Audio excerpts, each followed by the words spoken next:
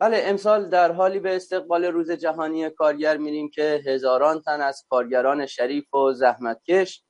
از 104 مرکز و شرکت صنعتی در 37 شهر کشور در اعتصاب هستند.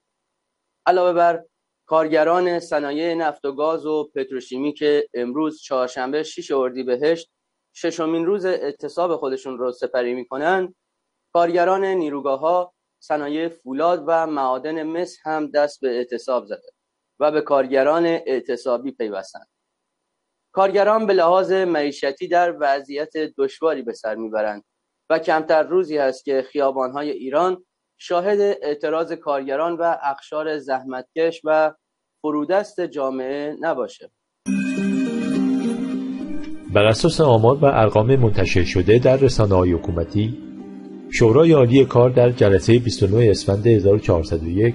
با افزایش حقوق کارگران برای سال 1402 به میزان 27 درصد موافقت کرد این در حالی است که به تصریح رسانه های حکومتی با توجه به میزان تورم یک فاصله 8 تا 10 میلیون تومانی میان هزینه های زندگی و دستمزد 1402 وجود دارد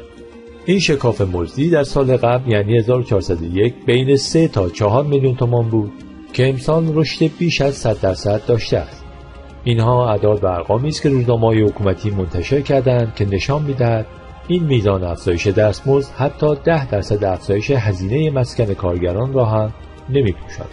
و بدتر از همه این است که این حداقل افزایش هنوز پرداخت نشده و قرار است از خرداد ماه آن هم اگر پولی در صندوق دولت ورشکسته رئیسی مانده باشد پرداخت شود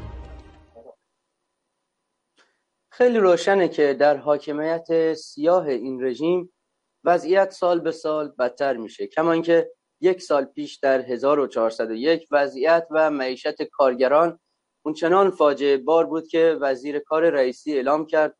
حدود 14 میلیون و 200 هزار شاغل ایرانی با درآمد کم و بدون بیمه کار هستند. بنابراین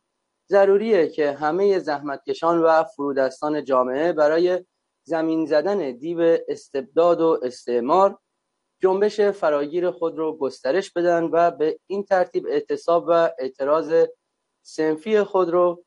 با قیام و انقلاب مردم پیوند بزنند اعتراضات سنفی اخشار تنها در پیوند با جنبش عمومی مردم است که امکان بقا و رشد خواهد داشت. برپا کن که تو مشت